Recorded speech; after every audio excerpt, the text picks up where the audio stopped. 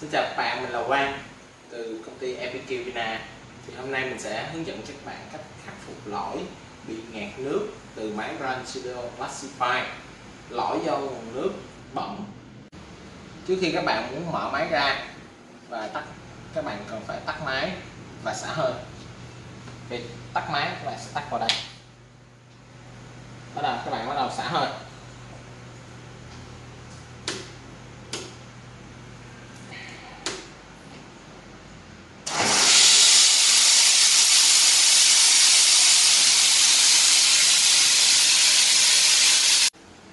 Các bạn xả hơi và xả nước sôi, tắt nguồn máy đồng thời để cho máy được làm nguội nhanh chóng nhất có thể.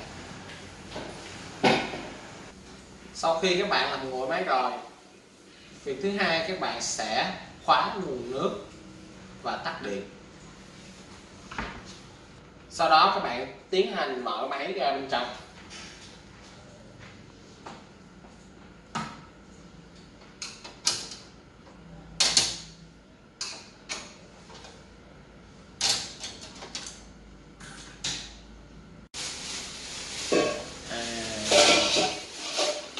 Rồi, sau đó các bạn sẽ bắt đầu tiến hành mở máy ra bên trong.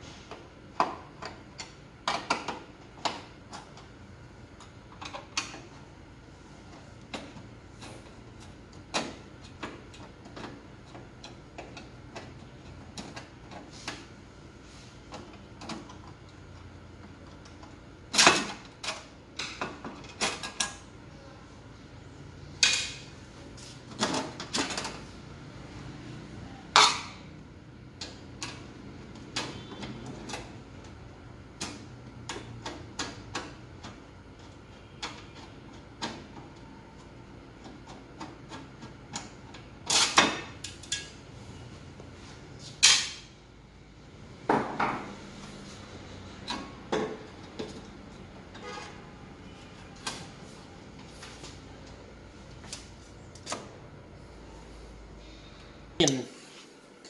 Nhìn vào. Đây là nguồn cấp nước cho máy pha cà phê Rancilio và đây là cụm chia nước của Rancilio các bạn nhìn vào cụm dây này, đây là nguồn cấp. Nguồn cấp sẽ đi vào đây. Chính xác, đây là lưới lọc cho máy. Kiểm soát toàn bộ hệ thống nước của máy.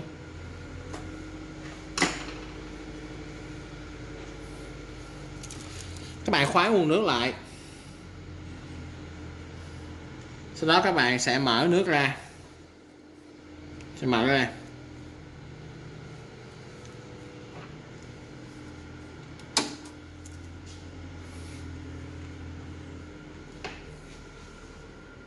Thường thì tôi sẽ mở bằng tay, nhưng mà cái này nó đã có áp lực nước khá là mạnh. Tôi sẽ sử dụng một cái khăn. Tôi chùm vào đây để tránh làm ảnh hưởng đến các thiết bị điện.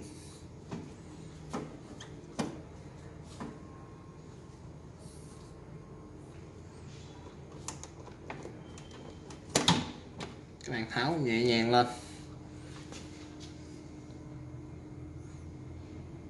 Đây là cái đầu lọc rất là nhỏ.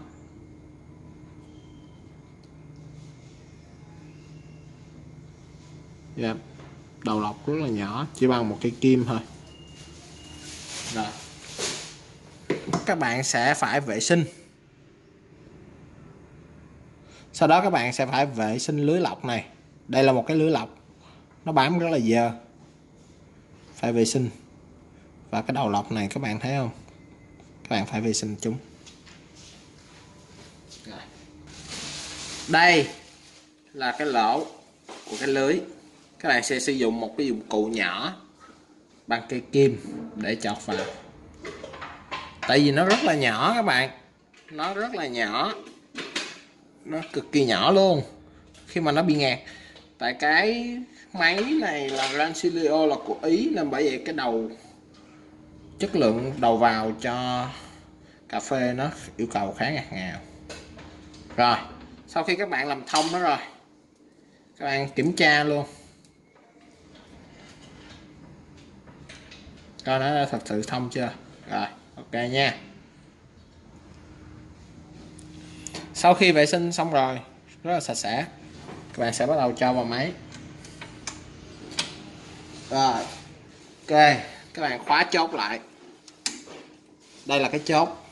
Mở. Khóa. Ok. Khóa chốt là rồi. Bây giờ các bạn tiến hành bắt đầu cho nước vào bên trong của máy. Các bạn bắt đầu đóng máy vào theo đúng thứ tự mà mình đã tháo ra ban đầu. Ghi nhớ nha, đây là cái đèn tín hiệu của mặt nước này. Mình phải gắn vào một cách kỹ càng.